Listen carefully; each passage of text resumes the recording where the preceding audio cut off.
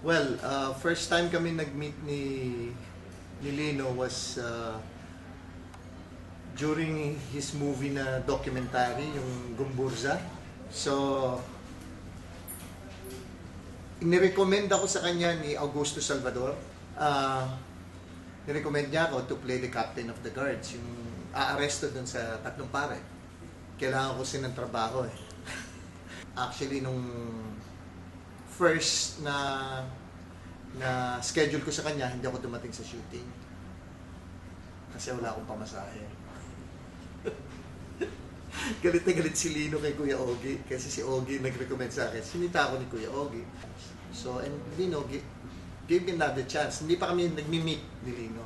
First shot ko noon, hindi ko makalimutan, sa cathedral eh, sa loob ng cathedral. Ang first shot ko noon was a dolly shot. Naglalakad ako mula doon sa harapan. Pinaglakad niya ako. Tapos pinatitingin niya ako dito, tingin lang ng gano'n, parang may hinahanap. Dolly shot. Tapos dolly shot ulit. Hanggang makarating kami doon sa may malapit na sa altar. Doon sa altar. So, after that, cut shot.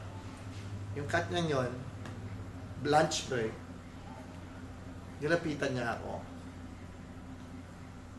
Ah, nakagawa ka na ba ng stage play? Ah, sabi ko, direct, yes, direct. Sa Opera House, Clover Theater, nag-ano ako.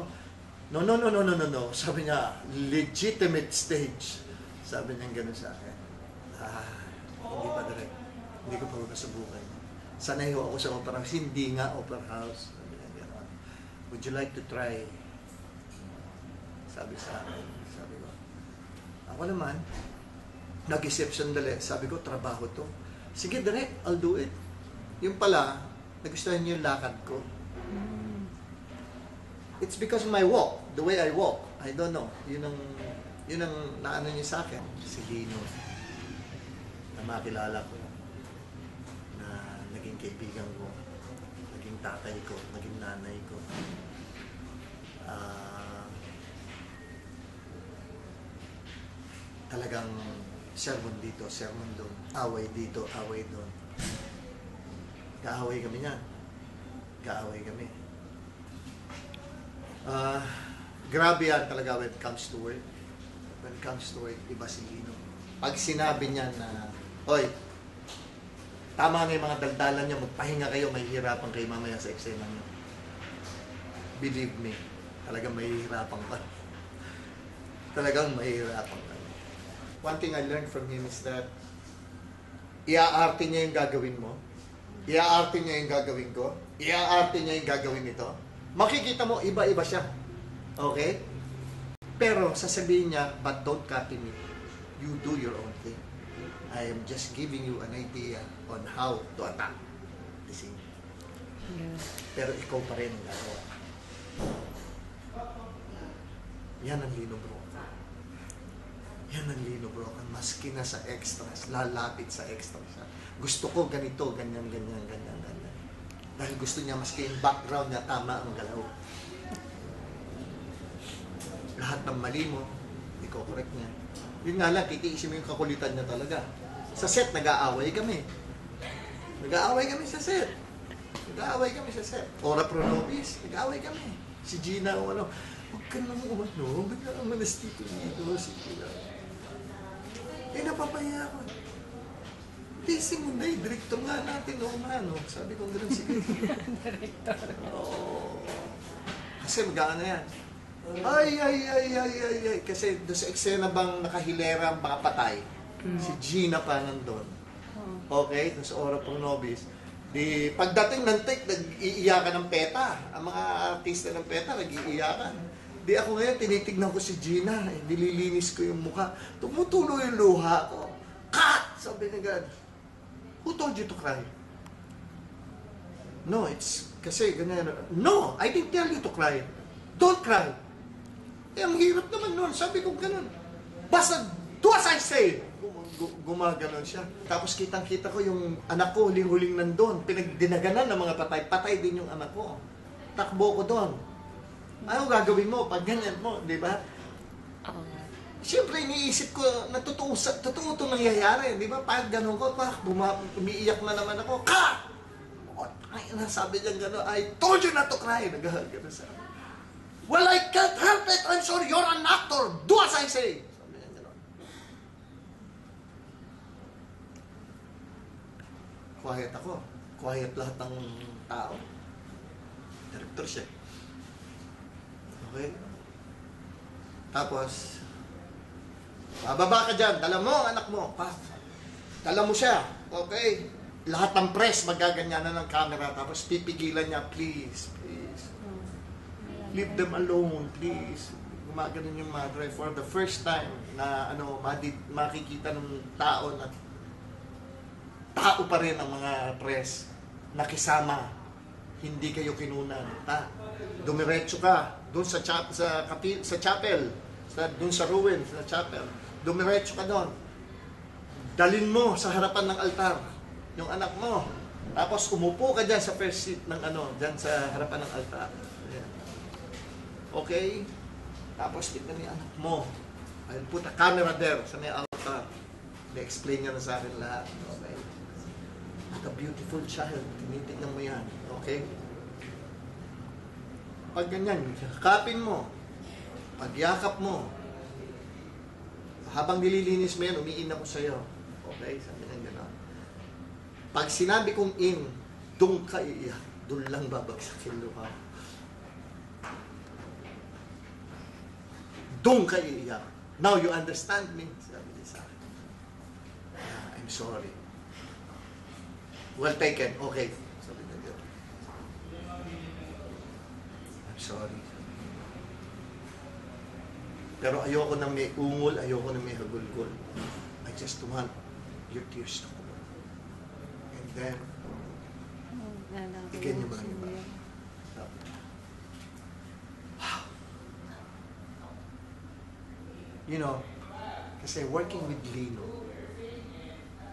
working with Lino is like, uh, is like going back to school. Bumabalik ka sa eskwelahan para mag-aral ka.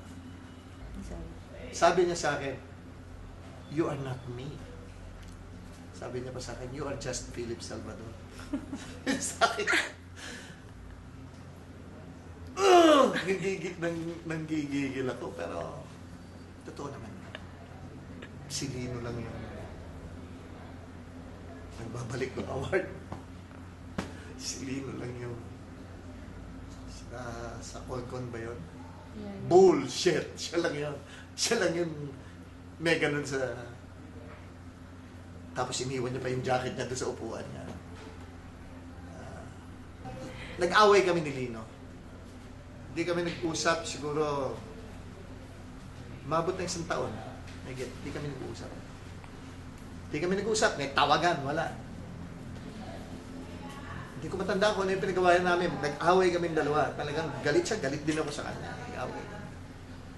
Tapos si Bobby de la Cruz, meron siyang meron siyang gusto i-produce sa TV na kinukuha niya akong artista. I have one problem.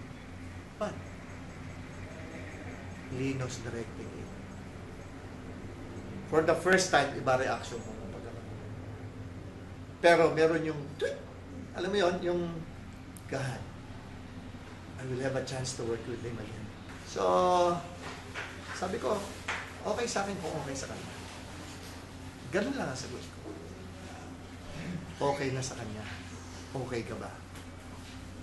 Really? Sabi ko, sige, okay, I'll do it. Ganon, pero yung dibdib ko, bug, bug, bug, bug, bug, bug, bug, gu- gumaganon. Because, you know why? Kagalit kami,